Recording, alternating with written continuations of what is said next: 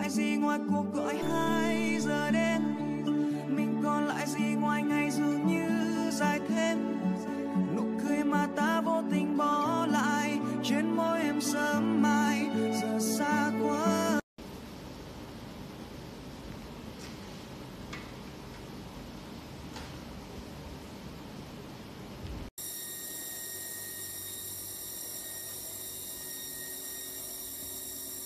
I'm.